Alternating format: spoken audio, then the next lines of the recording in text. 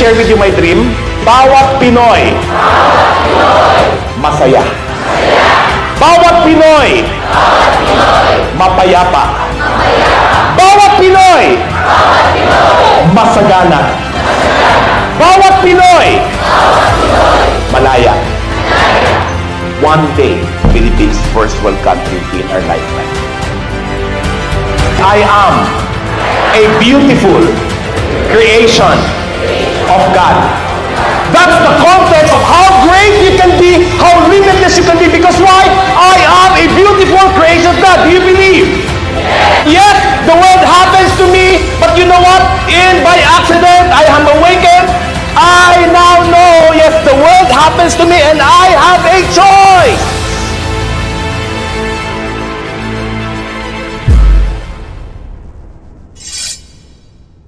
I am not religious. I don't practice any particular religion, but I believe I was created in the image and likeness of my Creator. I call Him God. Yes or yes? When I say God, this is whoever you believe in. When I say God, this is your source. When I say God, this can be Christ, this can be Allah, this can be Buddha, whoever you believe in, I respect that. Can you say, I am a beautiful creation of God?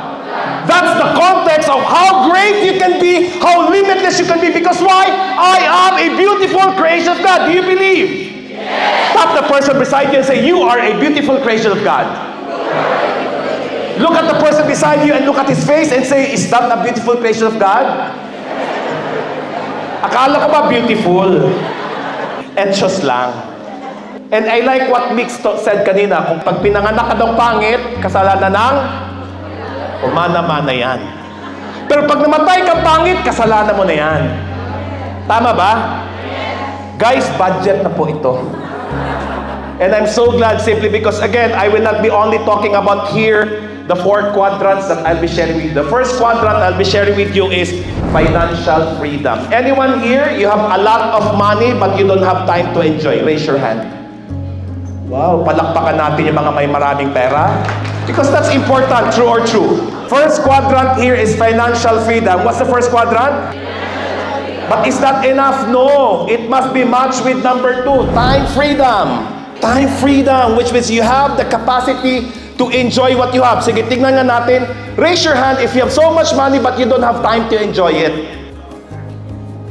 Okay, sa pangalawa, no? You have a lot of time but you don't have money to enjoy it. But here's the thing. 95% of humanity don't have money, don't even have time to enjoy it. And I'm sad. And that is why every day I work really hard, like crazy. I wake up 3.30, 4 a.m. every day. I sleep all the way to 10. Working, working, working, working like crazy, not because I need money, but because I have a dream. Can I share with you my dream? And I want you to feel my dream. Can everyone stand up and feel my dream and repeat after me? Stand up, repeat after me, and say, Bawat Pinoy, Bawat Pinoy masaya. masaya. Bawat Pinoy, Bawat Pinoy mapayapa. mapayapa. Bawat Pinoy, Bawat Pinoy masagana. masagana. Higit sa lahat, bawat Pinoy, Bawat Pinoy malaya. malaya. That's what I want. Hopefully in my lifetime. Ask me why. Why? One day, Imagine, wala nang aalis na Pilipino na iiwanan ng pamilya kasi nandoon ang ekonomiya. That hopefully one day, the economy is here. We're gonna build that economy here so that nobody will leave their family to create that economy outside because one day, we as Filipino nation work together to create that economy that nobody leaves the country. Every family is intact because we are creating that here. And you and I have that obligation to create that economy here in the country through the consciousness that we want to start supporting the Philippines. And that's my big dream. And that's what I want you to maybe imagine Philippines first world country in our lifetime. Take a deep breath, inhale, exhale, look at the person beside you, at pakisabi, Pinoy ka, proud ako sa iyo. Maganda ba yun? Thank you, palakpakan natin ng lahat. And more than that, please sit down. I will not only talk about financial freedom because that is greatness, limitless. I will not only talk about time freedom because that's also limitless and greatness. But I will also match it with fulfillment. Fulfillment is feeling good about myself when I am by myself. Which is even if I don't have the money, I'm A-okay. Even if I don't have the recognition, I'm A-okay. Ask me why. Because that's what we want to happen here.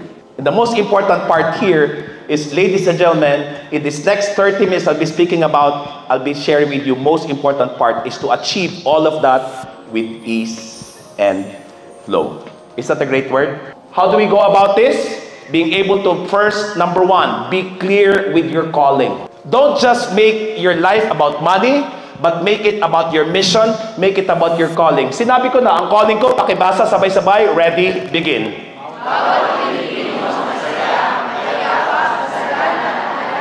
Maganda ba yan? Yes. Pwede nyo rin gawing calling yan? And apply it in whatever business you have. Maganda ba yan? Apat na M, tama. In English, every Filipino happy, peaceful, prosperous. Natanggap ko na hindi lahat magiging multimillionaire. Pero lahat pwede maging prosperous, masagana yung buhay. At higit sa lahat malaya, which is free from all the negativity. What's my context? My next context here is, we are created in the image and likeness of God. And this is the only truth I will stand by. Because if you're created by your God, is God is a limitless God.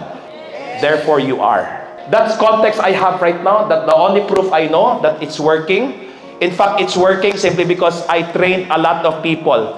Enjoy ba kay Mix Flores? Yes. Yeah, he was 21 when I got him. Right now, he's 28. I'm so proud of him.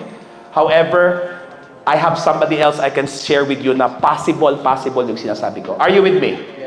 Most important part here, this is a concept that I got from Vision Lakiani. So which means if you are a speaker, you are a trainer, and you got this from somewhere else, give credit naman. So all of the things I'm sharing here is not actually coming from mine, but it's coming from the learning that I have from Vision Lakiani. Is he familiar? And inaral ko po ang becoming limitless niya. No? And I'll give you the steps on how to get there. Are we good? Most important part here is because we need to understand there are three, four layers of consciousness, and 95% in the world lives in layer number one. Ang tawag ng layer number one is culture scape. Ito yung mga taong napanganak ng mahirap, mamamatay ng mahirap. Ito yung mga taong sabihan mo may oportunidad dito, ayaw makinig. Not good, not bad, but this is where a lot of people are in. These are people who will not pay money, who will not spend time and energy on a Sunday morning because they don't believe in all of this stuff. But here's the thing. All of you are no longer in level 1. Palakpakan nyo naman. How do I know? Based on result, you're here. You're here. Marami kayo pinapakinggan na kung ano-ano kalokohan, di bale. Ask me why. Because culturescape, worldview ng culturescape, the world happens to me and I am a victim. Wala na akong magagawa. Bakit ka late? Traffic eh. Tama ba? Narinig na ba yan? Nagamit mo na ba yan? Stop it! As if the traffic is more powerful than you. It's not. Culturescape, you give away your power, you give away your life. Which means you are a victim. And when you remain a victim, it's not gonna work anymore. Most of you are in level 2. Pakipalakpak yan. Congratulations. How do we know you're here? Kung ano-anong kalokohan ang ginagawa ninyo dito. Tama ba? But you're still here. Now, I, I got my awakening. And a lot of times, by accident, we move to level 2. What's it? By? By accident. Bakit sa accident? Kasi, yung normal road ng level 1 is sabi ng magulang ko, remember this, anak, you study hard. And when you finish university, you have a diploma, you find a company, and work there until 60, and then you'll retire happy and successful. True or lie? And yet, a lot of people believe in that. Klaro ba? Now we move to level 2, awakening. By chance, by accident. Ito naman yung pagod na sa kasinungalingan, that's only job that can make me happy and excited. They now understand that they were invited, maybe. And I'm so blessed. Ask me why. I was invited to attend a business opportunity wherein pagpasok ko doon, merong isang bagsak, dalawang bagsak, sabay-sabay, tatlong bagsak, limang bagsak, milyon-milyon bagsak, power! I feel blessed. Kaya kung pinagtatawanin ninyo ang network marketing, fuck you.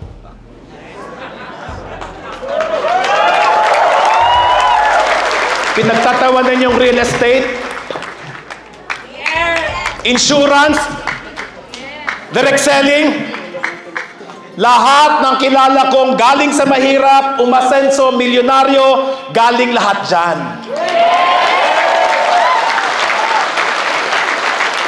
Bakit nagising ka sa katotohanan? Yes, the world happens to me, but you know what? In by accident, I am awakened. I now know, yes, the world happens to me, and I have a choice. That my choice is not just hard work, my choice is not just community, my choice is not diploma, but my choice is number one. Please write this personal development. Which means if you don't like your life, Create a growth mindset through personal development. This is what you're doing here. Congratulations. Is that enough? No. Number two, very important here is you start working on your clear heart set. And the reason why a lot of people are in this industry and not yet moving forward, ask me why. Hindi clear yung heart. Daming drama. Daming bit-bit. Klaro ba? Useless lahat ng learning dito kung buhay mo puro drama. Common denominator ng broke people, ask me what? Dramatic. Stop the drama. Number two, clear heart set. Number three, very important is what we call health set. What is it? Tignan mo yung katabi mo kung healthy ba. We always say health is wealth. True or true? Yan yung sinasabi ni Migs kanina. Did I prioritize myself? Here's the thing, sa kakahanap ng solusyon sa labas, nakalimutan yung sarili. But if you want to create the greatest life ever, earning a lot of money, number four is what we call leadership set. These are the five areas I want you to start working on because when you start working on that, you move yourself to level three. Level one is the world happens to me and I am a victim. Level 2, the world happens to me and I can make a choice to improve myself. But level 3, now I understand when I improve myself, the world is inside me. So which means if my world is not the way I want it, ask me why. why? Because the world inside me is not peaceful, is not happy, it's not in alignment to my Creator. Up until number 4, very important, when you invest in your time, energy, and effort, now I understand that I can change my world my own interpretation this is I co-create my world with my creator. Seven characteristics. Number one, work and play become one. Do you see me working today? Or I'm just playing? Both. Maganda ba yun? Yes. Number two, immunity to overwhelm. What does it mean? I don't have time to be stressful. I'm not busy. I do all of the time. I have 14, 15 companies. I'm running it. But yet, I have a lot of time. Sino dito, no? You started as a fan, and you started messaging me, and sumasagot ako ng buong buo, hindi, hindi AI yung sumasagot. Raise your hand. Wow, parang hindi busy tong taong to. This is the secret. Claro? Number three, direct access to the creative source. This is now my seventh time to speak, but every time I have opportunity to speak, it's always brand new. Ask me why. I have direct access to the creative source. Number four, ease and flow, which means tuloy-tuloy lang, daloy-daloy lang. Number five, win-win all relationship. You understand that the craziest, the most hurtful, the most disgusting relationship in life, you understand that God allowed you to have to make that happen. Why? Because He prepared your heart to move you to your next level. Number six, abundance in all areas of life, especially money. Pakisabi, money is like an air. Sabay-sabay, money is like an air. So if I need money, I just take a deep breath, inhale. Pakigastos. Ask me why. Because you know, the next inhale, available pa rin. Hindi na uubos. It's a mindset. It's a consciousness. But you need to start working hard on it. Most important part, at level 3, no longer do personal development. Ask me why. You have developed yourself clearly. But level three is all about connecting to your source. What's the tool? Please write this. Number one, meditation. And number two, intuition. In level four, this is you now understanding that you become like your source. Hindi ba blasphemy yan, Coach Russ? Hindi po. It's in the New Testament. Jesus said, even to the least among you. What does it mean? Kung hindi ka masyadong kagapuhan, pwede. Kung hindi ka talyon, pwede. Can do the things I have done, even greater things. And the only tool there in level 4 is what we call forgiving. Pagpatawad. And I guess that's where we now start to expand and grow. Na yung sinasabi ko kanina, that if you have a 10-year dream, pwedeng ibigay ni Lord yan on the fifth year. In fact, okay lang ba na i-share ko how possible is this? You know, I'm just so proud now with Migs Flores. Come here, Migs.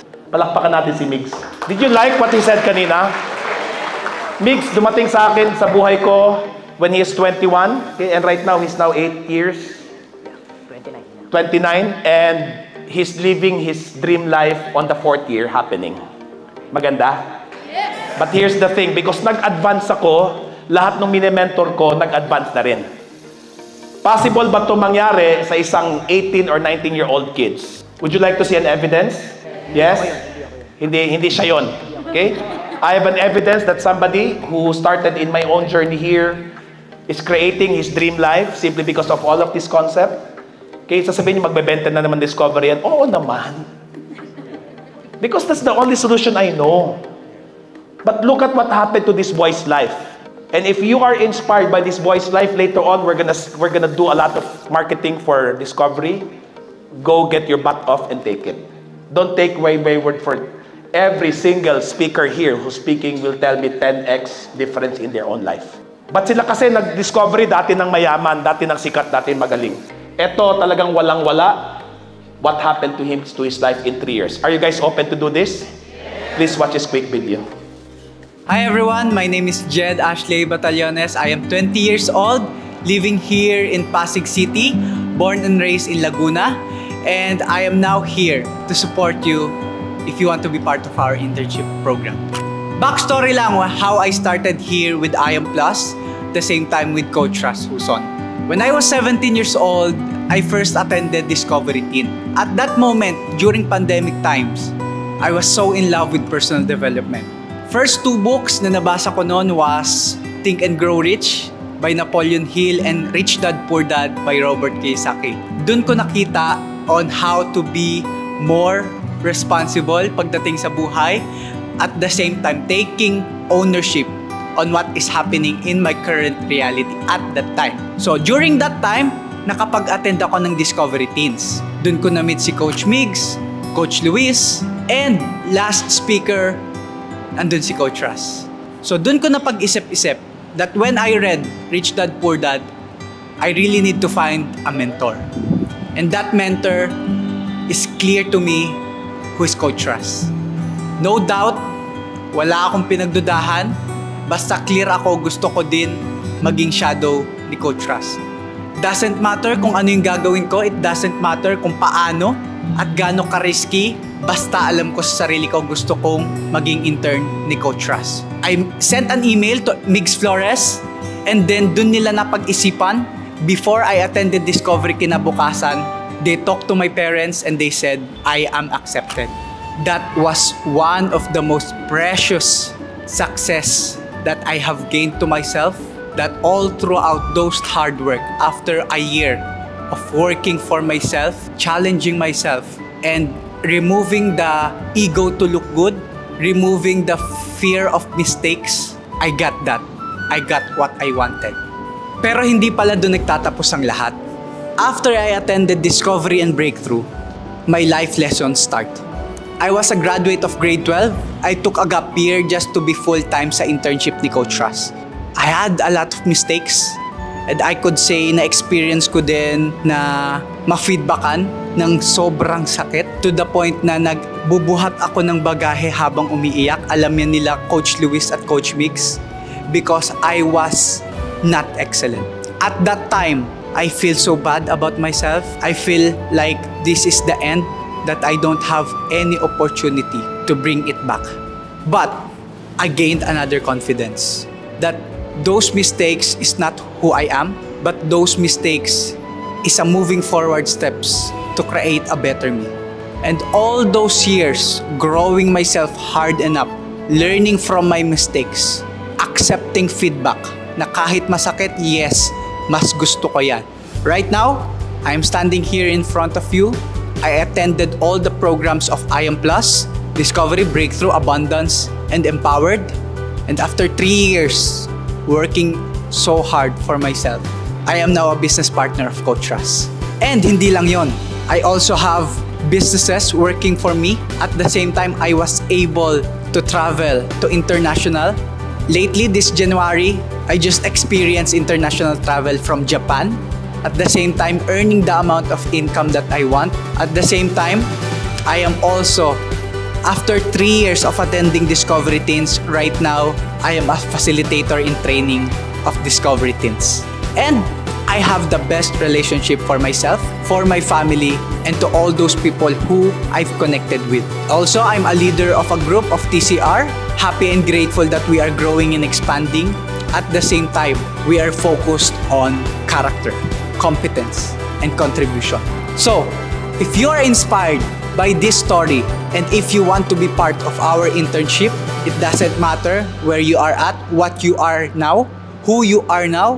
What matter here is you have the right character that you want to grow yourself, not to focus on earning, but to focus on growing yourself. So, if you want to be part of our internship, mentorship of Coach Rasuson, mentorship of Biggs Flores, mentorship of I Am Plus, message us and share what was your biggest learning from this video and we would love to see you there. Thank you so much.